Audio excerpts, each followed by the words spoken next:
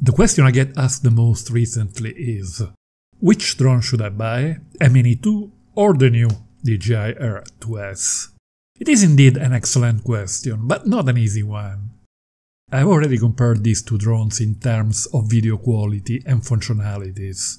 You will find the link at the end of this one. But I know that a lot of you are interested in photography, so in this video I will analyze in depth photo quality and features of these two models to see which one is better suited for different kind of users.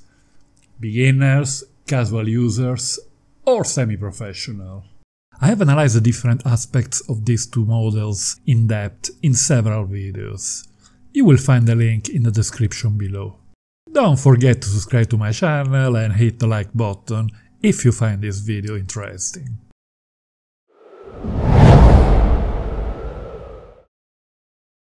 The two models have very different features, and several of them are extremely important, so we have to quickly analyze them before moving to compare photo quality.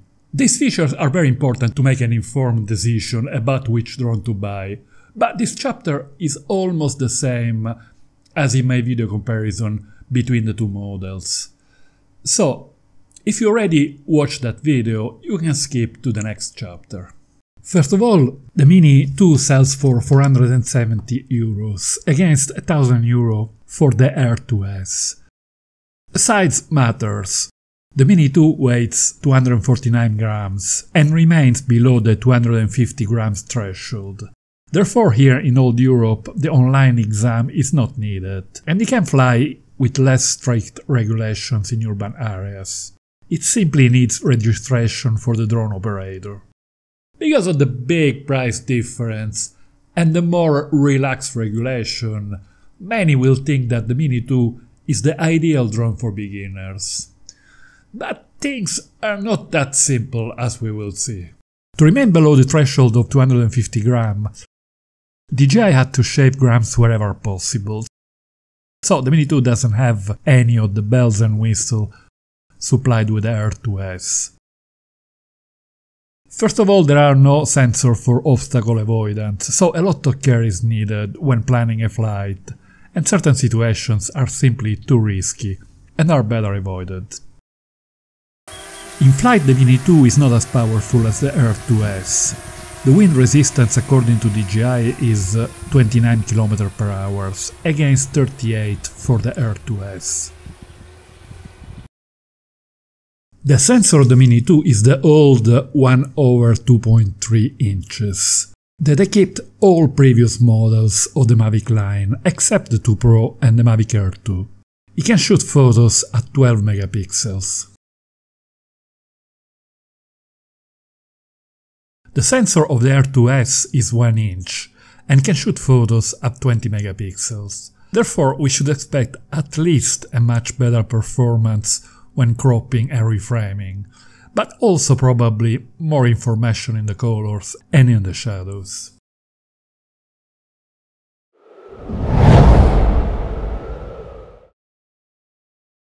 Both models have an automatic exposure bracketing mode. In Air 2S, 5 photos are taken in rapid succession at different exposure values, with a difference of 0.7 stop. In the case of the Mini 2, only 3 photos are taken, and I don't like it, because it reduces the benefit of shooting in this mode. I've shot all the images in this video in automatic exposure bracketing.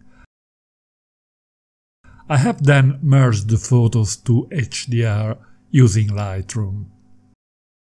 Then I have post-processed the best single photo and the image merged.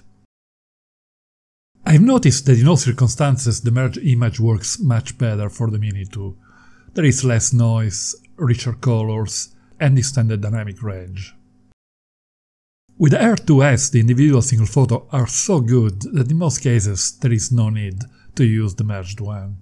But in any case, I like to shoot always in AEB, just to make sure that I don't accidentally get a badly exposed one.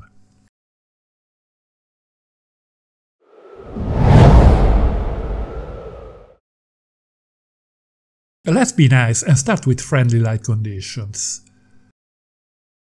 The first photo is shot in late afternoon, with the sun to the left and slightly behind us. The Mini 2 does very well here, with nice warm colors and good detail overall, and a nice structure of the sky, although we notice a good amount of haze between the sea and the sky. But with the image taken with the 2S, we enter another dimension. The detail is astonishing, the colors extremely rich and natural, the structure of the sky just perfect, and part of the haze is gone. Side by side, we again appreciate the excellent job done by the Mini 2, but the Air 2S comes from another galaxy. The next few shots are taken at sunrise. Nice result here with the Mini 2, with good detail and very low noise. Although the colors are a bit overtaken by the red-orangey cast from the rising sun. In Air 2S we notice richer and more natural colors.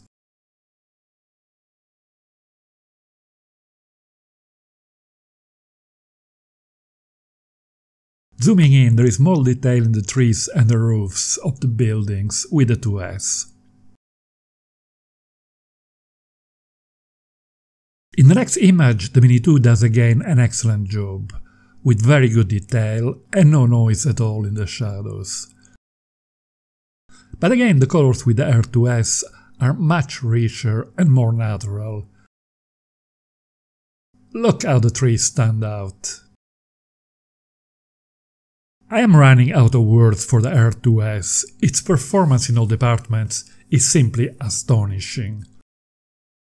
And one of the things I keep noticing is the incredible richness and beauty of the colors. Even against the full rising sun, the light on the trees in the foreground is magic.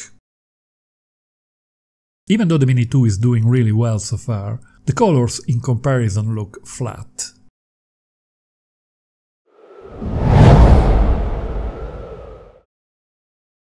Let's get tougher now and move to a typically very difficult situation for drones.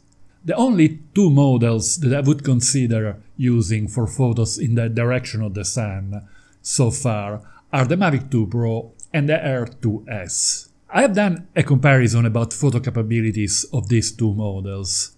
There is a link on screen now if you're interested.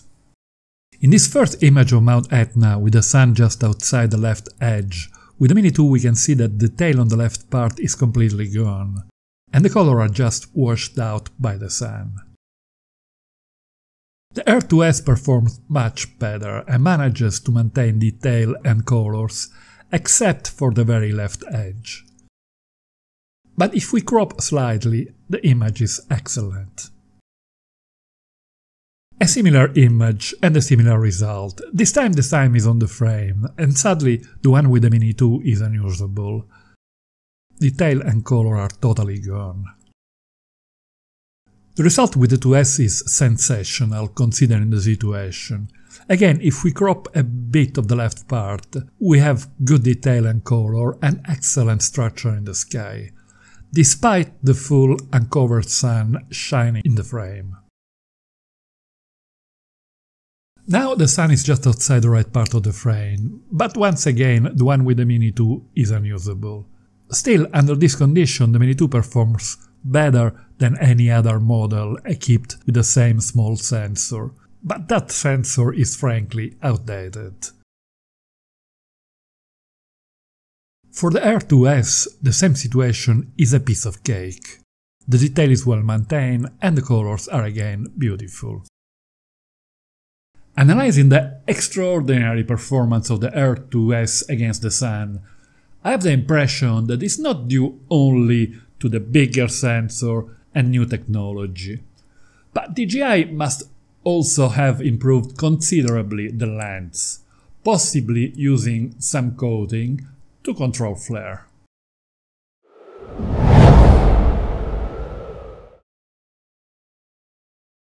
In low light, the previous models equipped with the same sensors as the Mini 2 were a total disaster.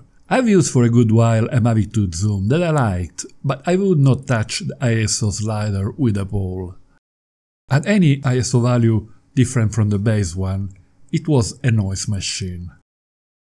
In comparison, the results with the Mini 2 are really good. Three years of new technologies in this industry make a huge difference. As you can see, the quality is quite good, but even more surprising, it doesn't seem to deteriorate at a higher ISO value. ISO 1600 was something unheard of in prosumer drone equipped with the same sensor. There is of course some noise in the shadows, but the image is still very usable after denoising. I decided to test the Air 2S in extremely tough condition, as the previous shot was frankly too easy for this drone. It was extremely dark and the result was pristine at every ISO value. The way the Air 2S renders detail and color under this condition is surreal, and of course not a hint of noise. The result is not too far from what I get with the Queen of the Night, the Nikon D850. Click on this link to access my detailed videos on specific aspect of the Air 2S, or in this one if you want to know everything about the Mini 2. And don't forget to hit the like button if you enjoy this video.